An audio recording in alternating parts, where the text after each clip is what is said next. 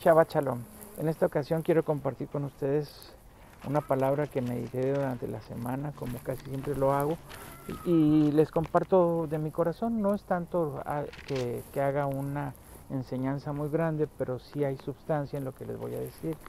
Capítulo 6 de Daniel dice de esta manera, pareció bien a Darío constituir sobre el reino 120 gobernadores que estuviesen en todo el reino, y sobre ellos tres presidentes, de los cuales Daniel era el uno, a quienes estos gobernadores diesen cuenta porque el rey no recibiese daño.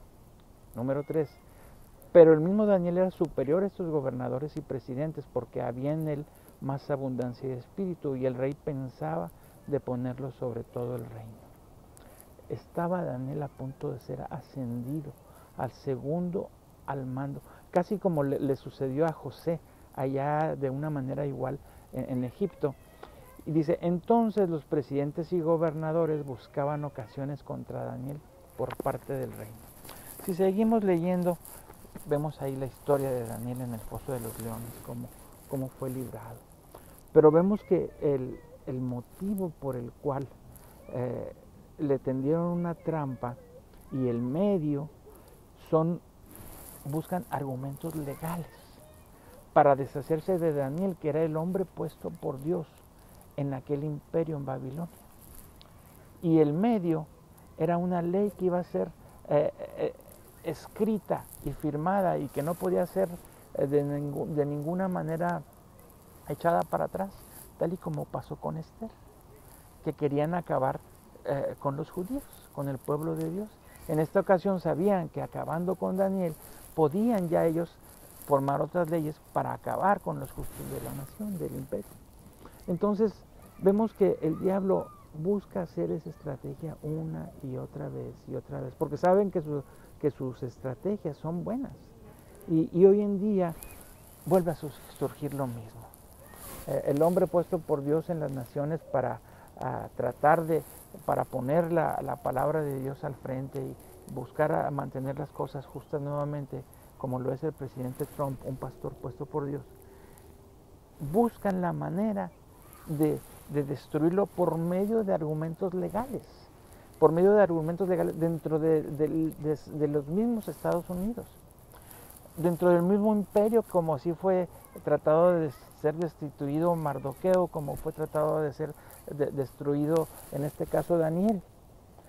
Pero vemos cómo ah, el Señor da esa llave que le llama la llave de David, la llave que abre puertas eh, que, son puertas que nadie más puede abrir y, que cierra cosas que nadie más puede abrir.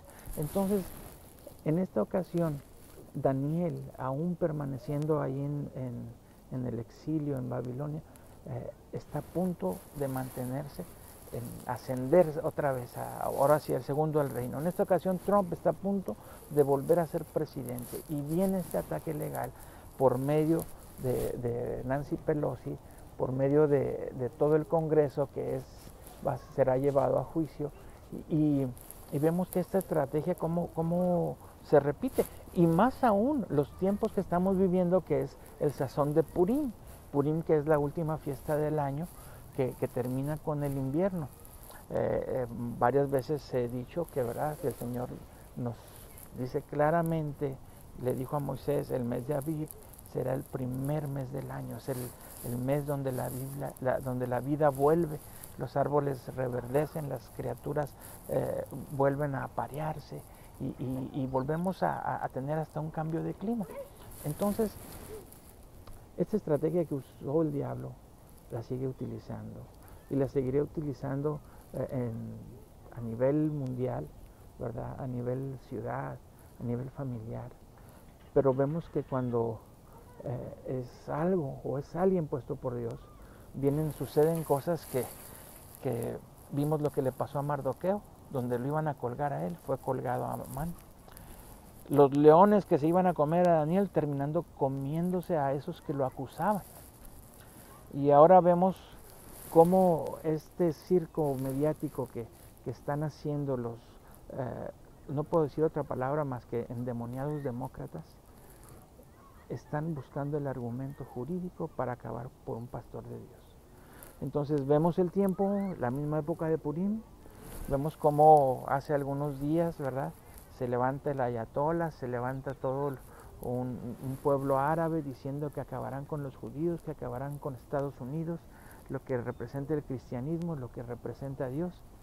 Y, y, otra vez vuelve a surgir ese mismo fenómeno que el diablo planea para a, atemorizarnos, para acabar con, con nosotros.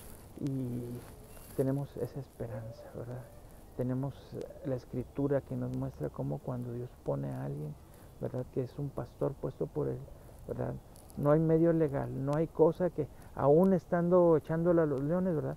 Surgirá algo, surgirá alguna manera donde ese mismo o truco, esa misma trampa hará que tome un nivel más alto. Entonces, ve cómo opera el diablo, ve cómo opera el Señor y, ve que eso es a, grandes niveles, a nivel mundial, es a, niveles de Estado, a niveles de ciudad y a niveles familiares, ¿verdad?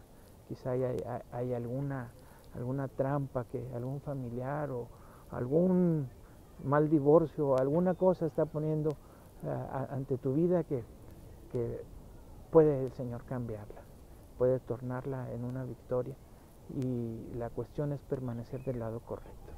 Así es de que shalom y esperamos esta fiesta de Purim, que es la última del año y que terminará en una victoria. Shalom.